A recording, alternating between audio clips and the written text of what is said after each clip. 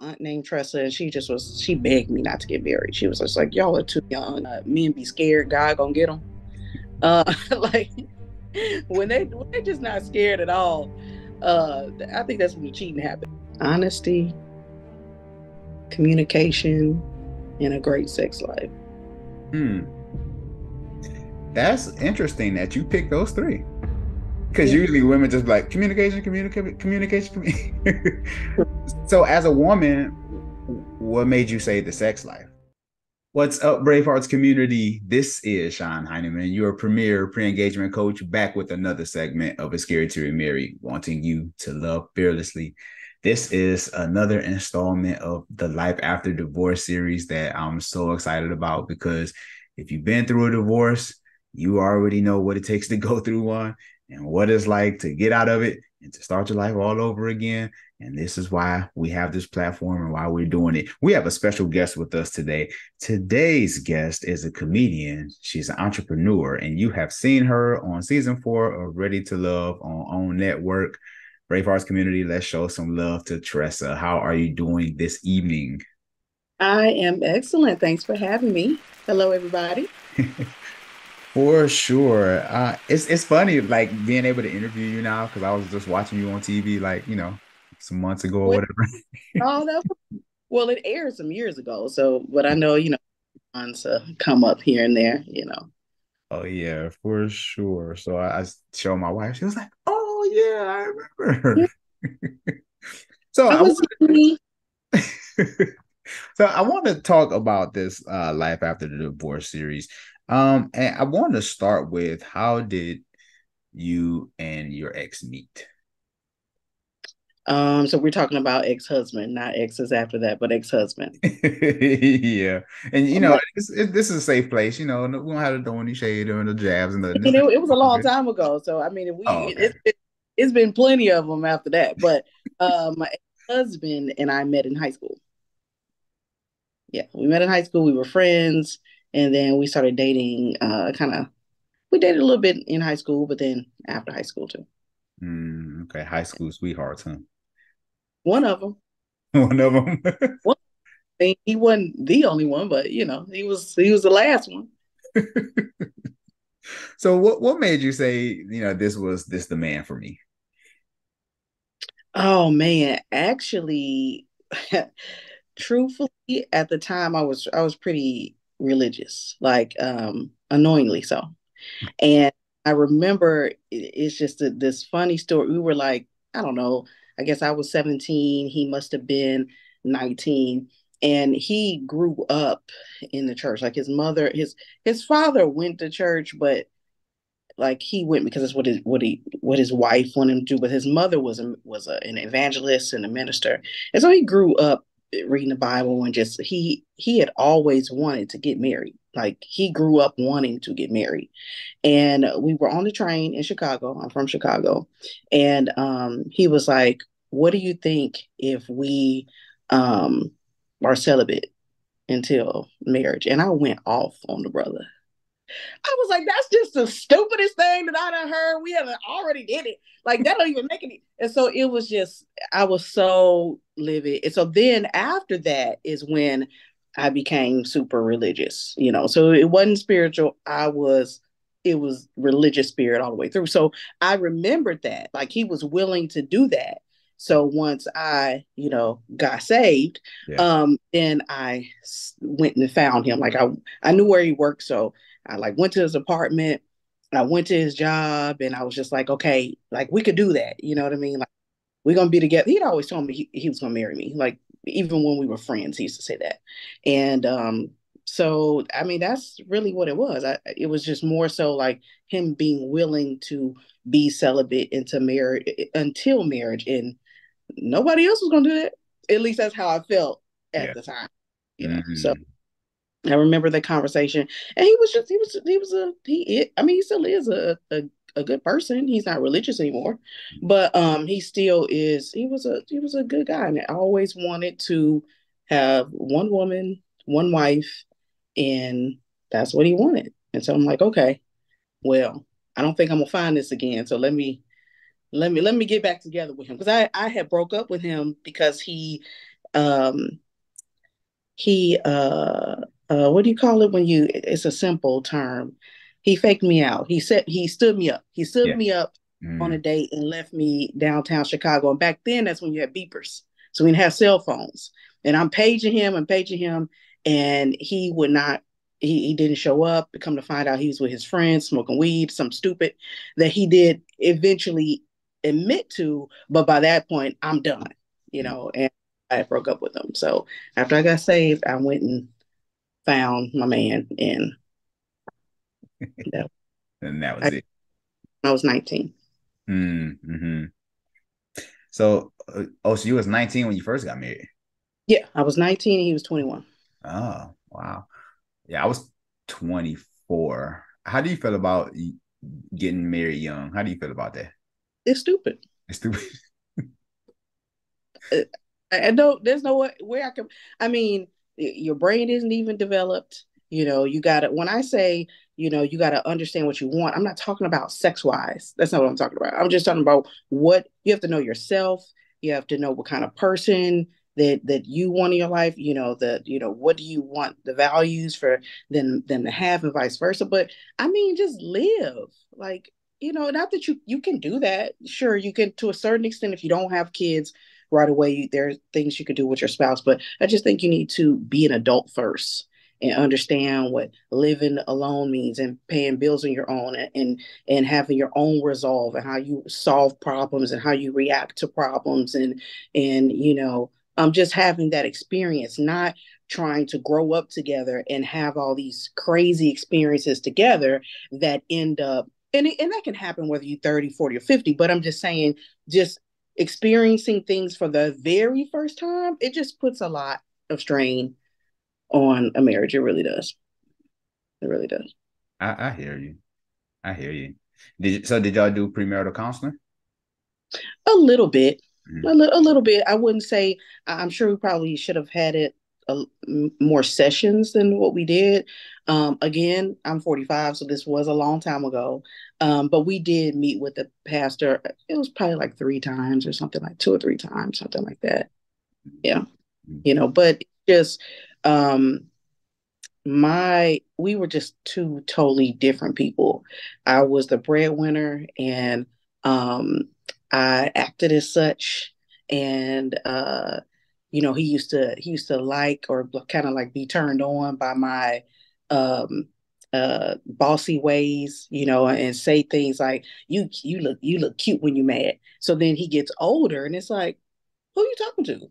You know what I mean? Because he's becoming a man. You know what I mean? And he's just like, you know, I didn't a- I didn't ask you to redo my resume. You know what I mean? I didn't ask you to to do this and that, but I would take on those things and be that person because I just was further in life than he was. I was buying, I was like 20 buying properties, you know, without him. He didn't have anything, he knew what I was doing, but I would research those things and teach myself certain things and like try to get him involved. And he's like, I want, I want to do that. And I'm like, but why not? Yeah. This doesn't get angry, you know? And so me being from 20 to 45, I'm a totally different person. Yeah. I would never. I don't. I don't raise my voice to men that I'm dating. Mm. I, I, you know, I I'm, I manage my my business. I manage my comedy career. Um, you know, there's a certain way that I handle uh, uh, employees that work for me, but I, I, I know how to not manage a man.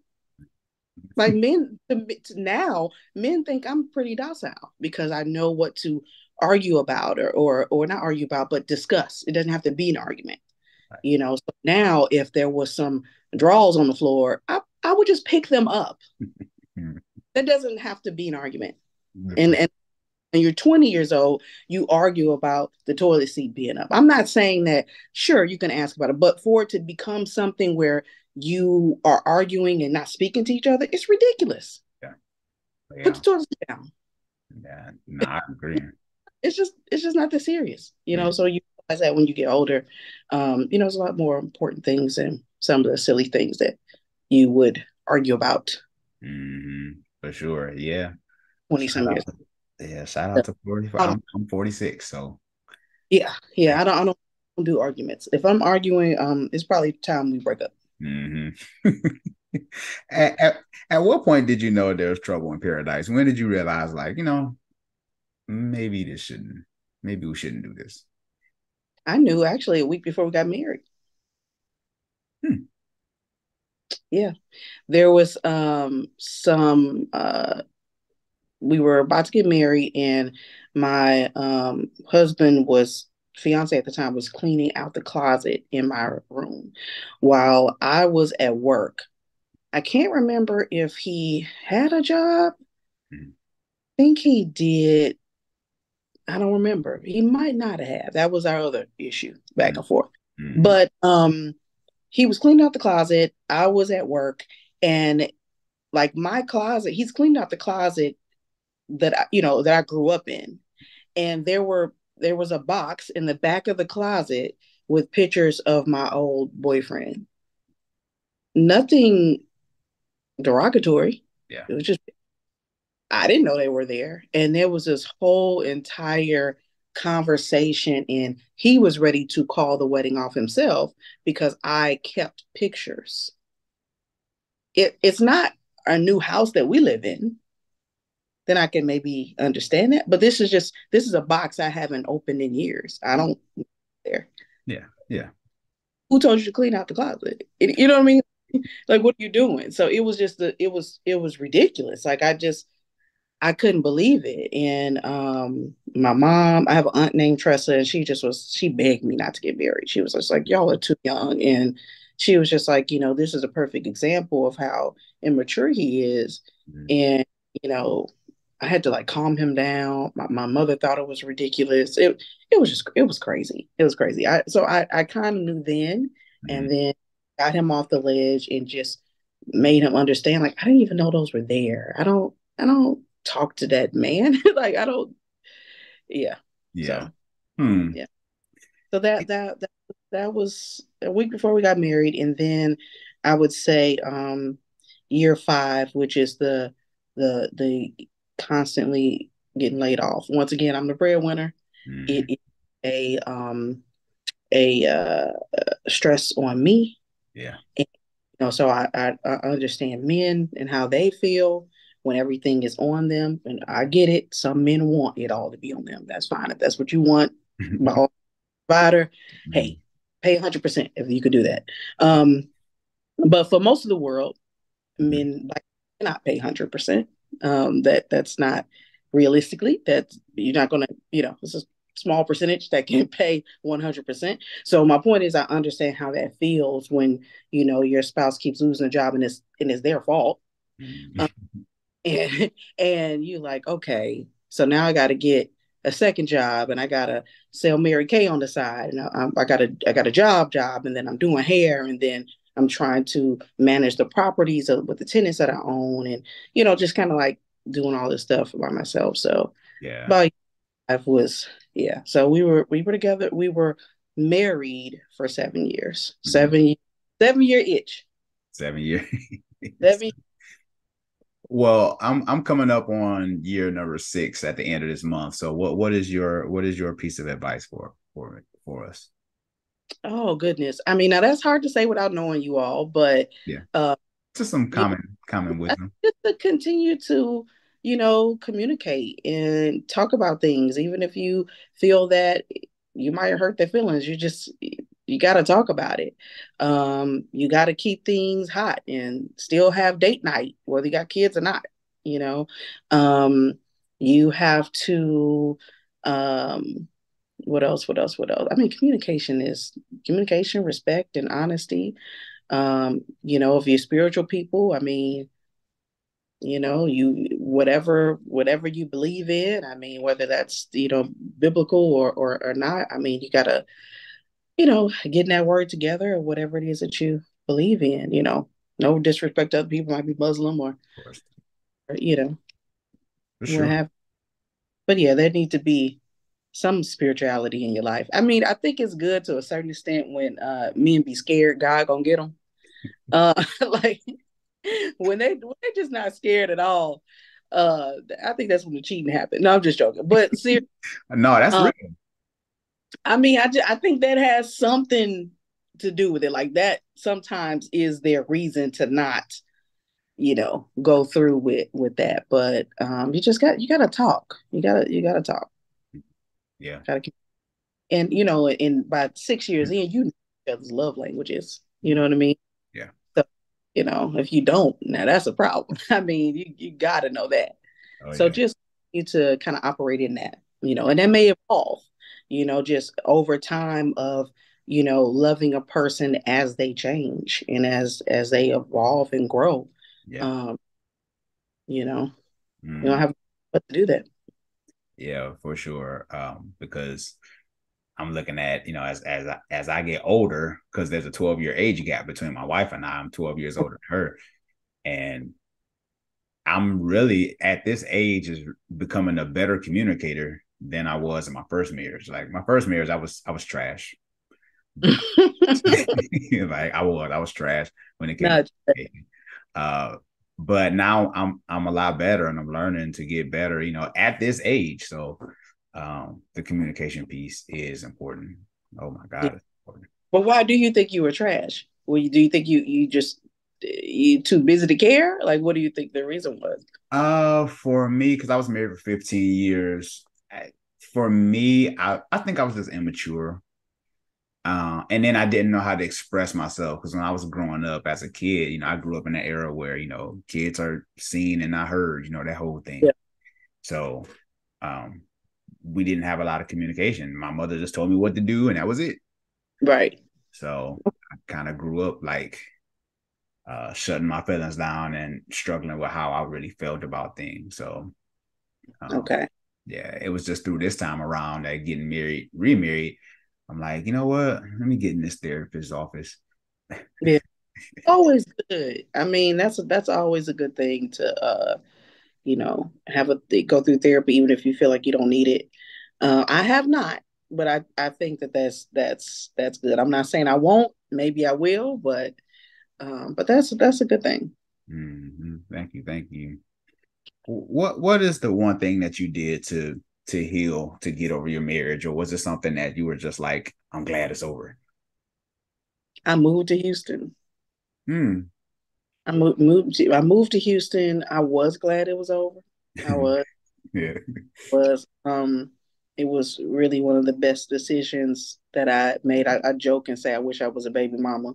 Um, but no, I, I did not want to be anybody's baby mama at all. Um, but I moved moved to Houston, um, started life all over again.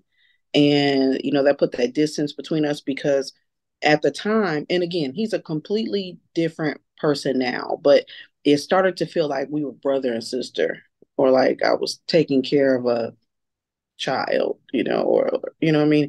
And so we needed that distance because I knew if I was there, he was gonna call me and ask me for something or money or something, I was gonna give it to him.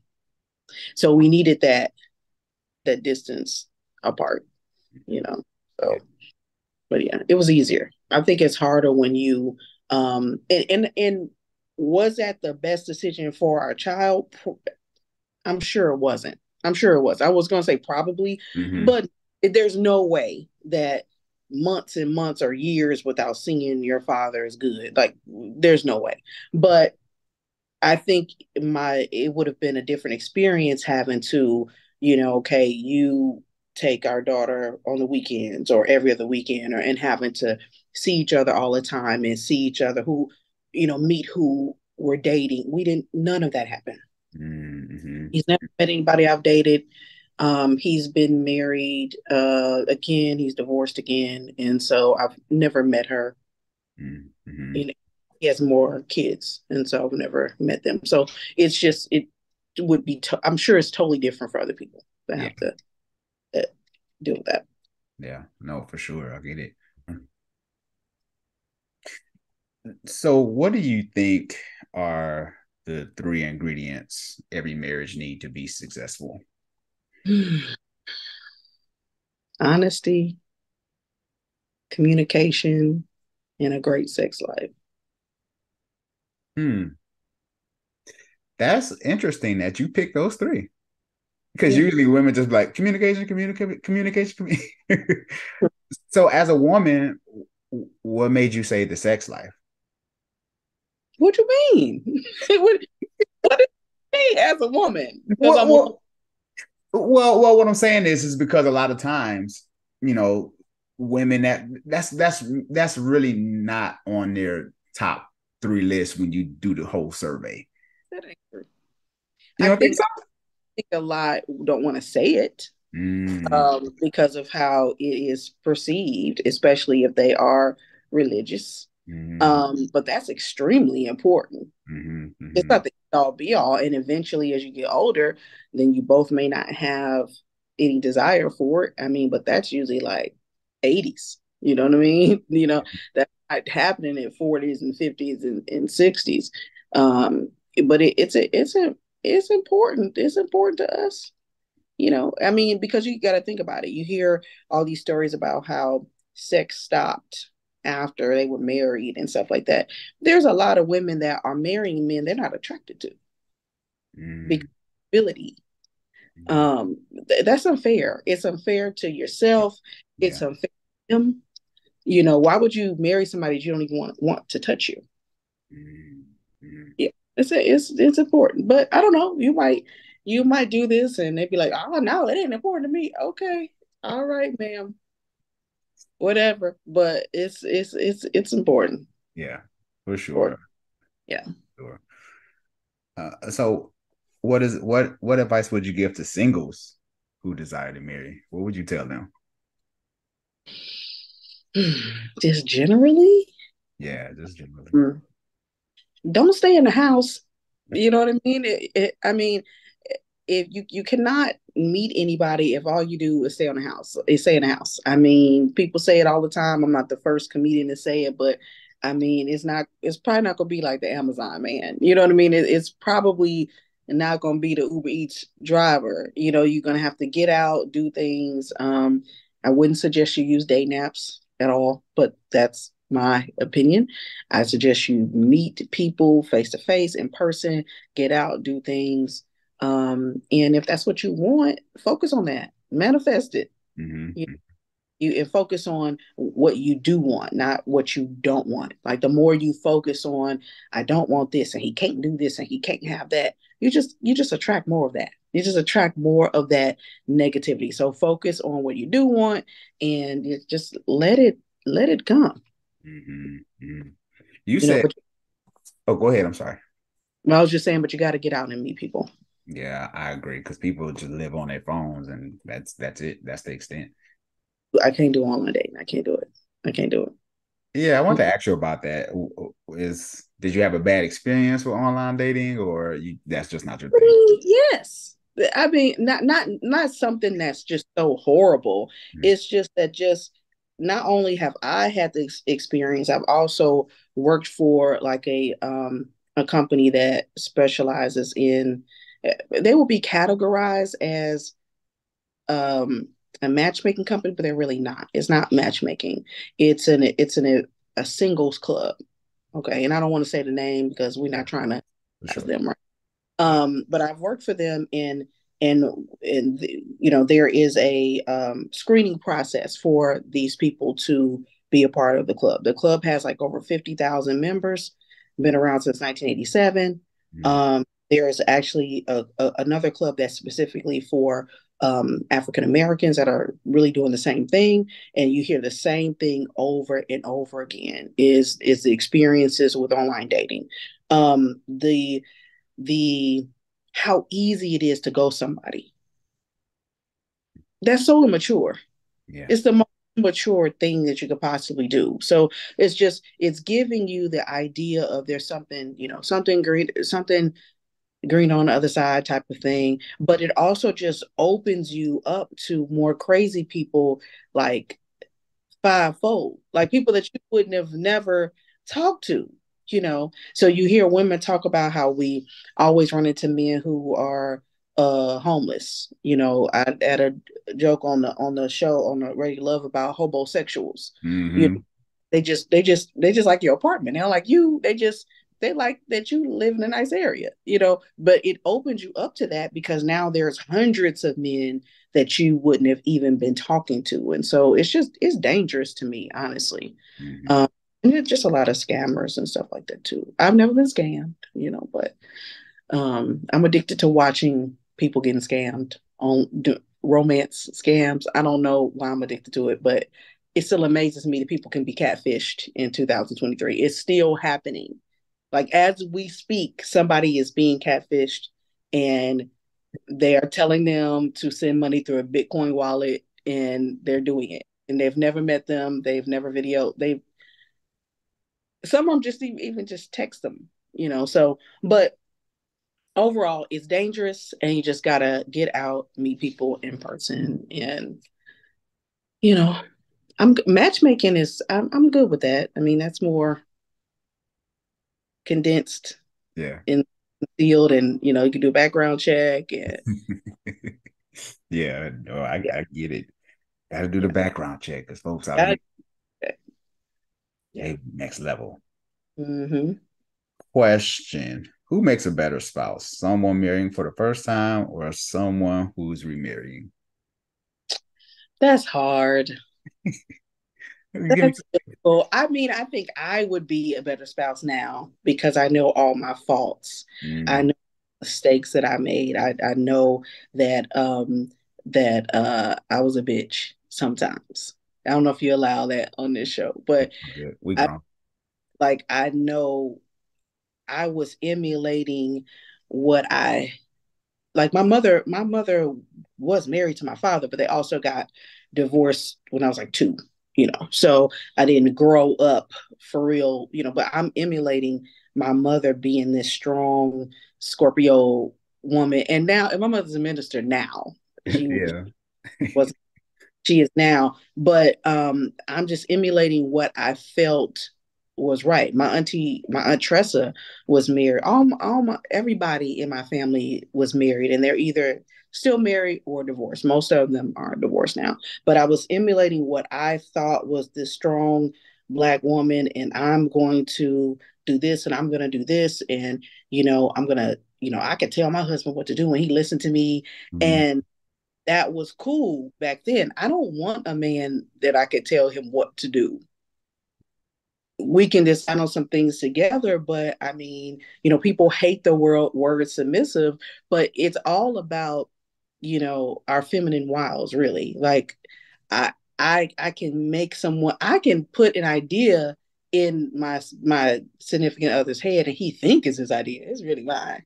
but with being older and understanding like how your feminine wiles work and how you you know um you can express an idea to someone without arguing without cutting them off without telling them what to do without the the um back and forth without the he has to see my point of i can actually sit back and listen and not say a word. I couldn't do that at 20 yeah right. Not say anything? What? No. I'm give you a solution that you didn't even ask for. you know, I mean, that's just how I was. So, you know, I was emulating what I thought was was right. So I, I, would be a better spouse now. Now, someone that maybe grew up in a household of a mother and father, they've had the and, and not only not only do you have to grow up in the household of a mother and father, but people got to talk to you.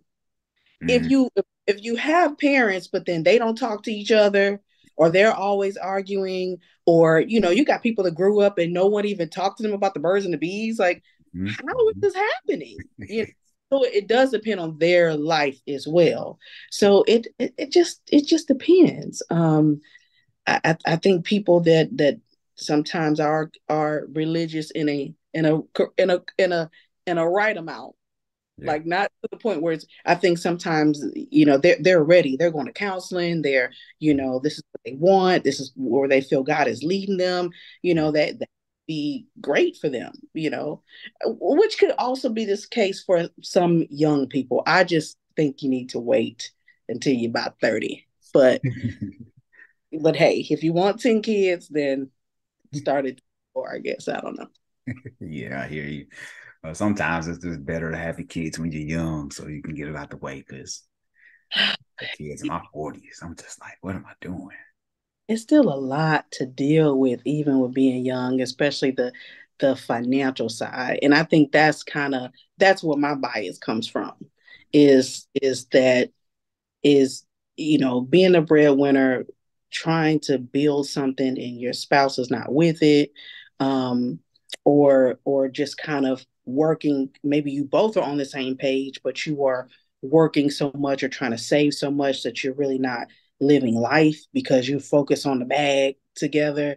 You know i mean it, it just it just I, I think they need to wait a little bit um and go from there but i'm sorry old diatribe. You asked a simple question and i gave you a thesis on uh relationships. My apologies. And that's why i brought you on the show right?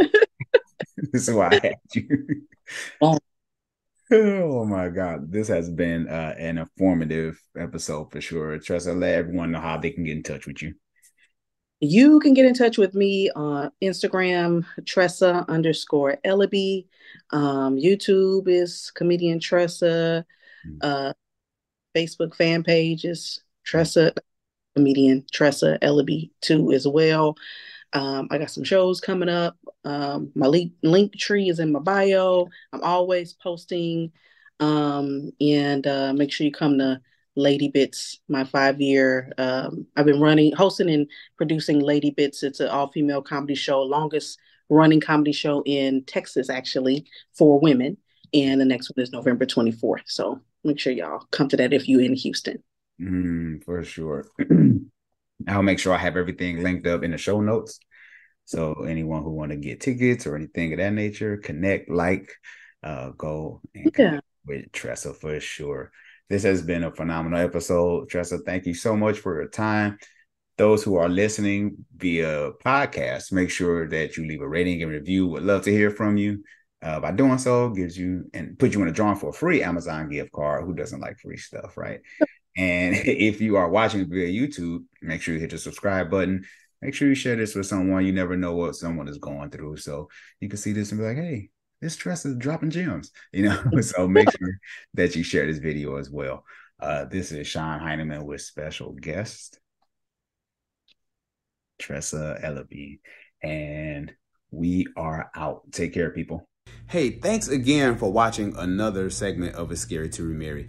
I have so much more amazing content and some phenomenal guests as well. People who've been through a divorce, people who remarry, people who desire to marry. So much great content. So make sure that you hit one of these videos. It's somewhere around here. But anyway, go watch another video.